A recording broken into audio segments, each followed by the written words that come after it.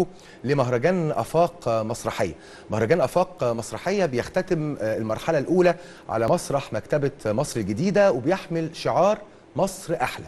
كان في حضور جماهيري كبير وانطلقت الدورة من يوم 1 فبراير أو أول فبراير الشهر ده على مسرح مكتبة مصر الجديدة وشارك في هذا المهرجان فرق متنوعة الجميل فيها أنها تمثل محافظات مختلفة. تعالوا نشوف التقرير ونرجع مرة تانية. تحت شعار مصر أحلى اختتم مهرجان آفاق مسرحية المرحلة الأولى من فعاليات الدورة الرابعة للمهرجان. بعرض 21 عرض مسرحي من المتأهلين للتصفيات النهائية. وذلك على مسرح مكتبة مصر الجديدة. هو النهارده يمكن عملنا مرحلة جديدة في النهائيات. دايما كان بيبقى عندنا النهائيات هي تسابق وبيبقى في لجنة تحكيم والعروض كانت بتعرض. آه السنة دي حصل حاجة كويسة قوي بصراحة فوفرتها لنا مكتبة مصر الجديدة. آه إن هم آه سمحوا لنا إن إحنا ممكن نقدم آه فعاليات المهرجان عندهم آه لمدة النهارده اليوم الثامن في الفعاليات. آه فكانت آه دي كان حاجة كنا بنحلم منها من الدورة الأولى إن إحنا إزاي نفيد الفرق. ما يبقاش المسألة مجرد عروض وجوائز وخلاص. كما حرصت لجنة النقاد داخل المهرجان على متابعة كافة العروض المسرحية للوقوف على نقاط القوة والضعف وإطلاع المشاركين عليها.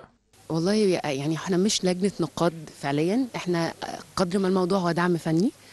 هم لسه عندهم ليالي عرض تانية.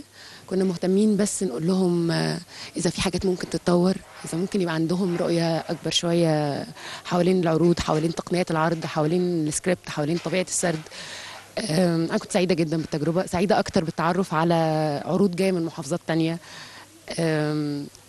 على متحمسين على فكرة الهواية يعني الأشخاص اللي جايين من أقاصي البلاد وعندهم أفكار وعندهم أحلام إزاي ممكن يطوروا الأحلام دي. كان لإدارة المهرجان دور هام في عرض عمل مسرحي للأطفال على هامش فعاليات المهرجان لدعم وتنمية تلك المواهب.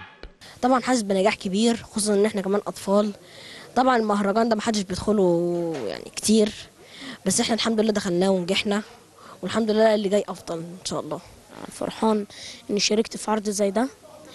ومهرجان أفاق مش مهرجان صغير ده مهرجان كبير جدا لأنه على جمهورية مصر العربية.